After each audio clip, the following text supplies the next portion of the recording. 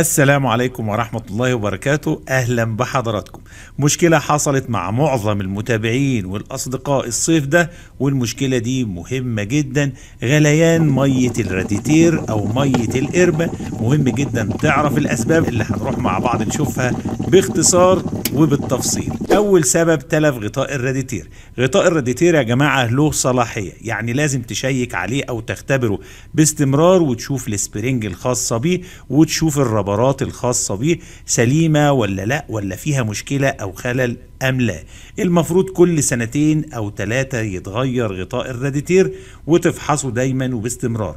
غطاء الراديتير ده اللي أنت مستهون بيه بيزود الضغط داخل منظومة التبريد وممكن يؤدي أيضا إلى مشاكل وخلل في جوان وش السلندر. السبب الثاني تلف المروحة أو تعطل أحد سرعتها مروحة التبريد مهمة جدا بتقلل درجة حرارة المحرك وبتساعد المية والزيت في عملية التبريد. فلو تعطلت المروحة أو حصل فيها خلل أو أحد السرعات توقف عن العمل إيه المشكلة اللي بتحصل؟ بيحصل غليان لمية القربة أو مية الراديتير وارتفاع الضغط داخل المنظومة.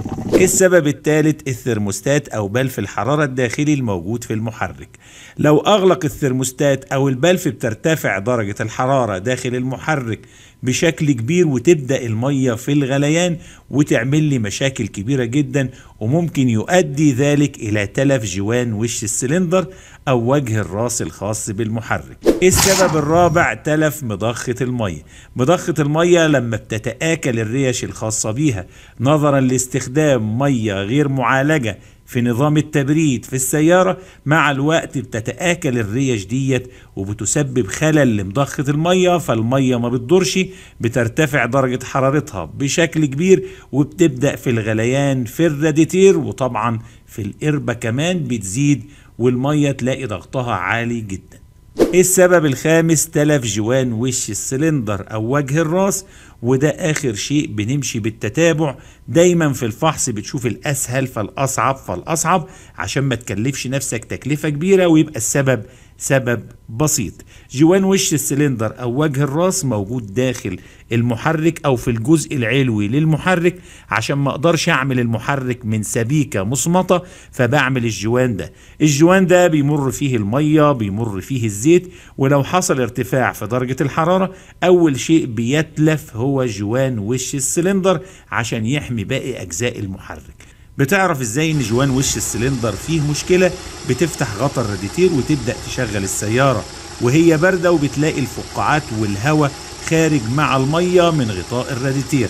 الهواء ده معناه إيه؟ معناه إن الهواء ده متسرب من غرف الاحتراق الخاصة بالمحرك وممكن كمان تعرفه بطريقة تانية إن أنت تفك البوجيهات. بوجيه بوجيه تشيل ال coil وبعد كده البوجيه وتدور السيارة هتلاقي فيه مية خارجة معاك من الجزء أو الغرفة اللي فيها مشكلة أو, فيها خلل في جوان وش السلندر وبكده يبقى شفنا أسباب غليان المية في الراديتير أو في القربة ويا رب حضراتكم تكونوا استفدتم وشكرا جزيلا لكم.